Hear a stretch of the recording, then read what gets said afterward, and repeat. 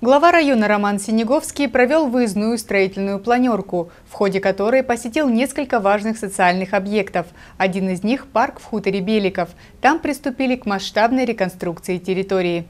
В хуторе Беликов Кировского сельского поселения проживает около тысячи человек. Благодаря стараниям жителей и активной позиции руководителя местного ТОСа, который неоднократно становился победителем краевого конкурса на самую благоустроенную территорию, здесь была оборудована небольшая парковая зона. Но неравнодушные селяне решили не останавливаться на достигнутом, а построить настоящий современный парк. Их инициативу поддержало руководство поселения и района, и весной этого года строительство началось. Благодаря инициативе жителей хутора Беликов, благодаря инициативе главы поселения э, Леонова Евгения Владимировича, сделали проект, прошли экспертизу. И вот спасибо э, губернатору Кубани Евгению Кондратьеву, что действительно есть краевая поддержка на условиях софинансирования.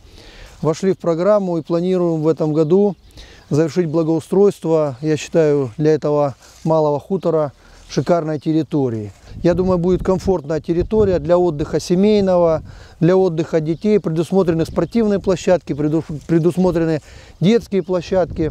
Все то, что необходимо сегодня для того, чтобы жизнь на селе продолжалась. Будет благоустроено около одного гектара территории. Строится парк по федеральному проекту формирования комфортной городской среды. Общая стоимость работ более 20 миллионов рублей. Вот так он будет выглядеть после окончания строительства. Красивый, современный, удобный. В этом году также будут благоустроены парковые зоны в поселке Совхозном и береговая линия озера Толока. Славянский район – активный участник федерального проекта формирования комфортной городской среды и уже наработал хороший положительный опыт в благоустройстве территории. За последние два года были обновлены сразу пять парков в станицах и хуторах, а также проведена реконструкция Северного парка и городской набережной. Таким образом, для жителей создается именно та жизненная среда, в которой комфортно и хорошо.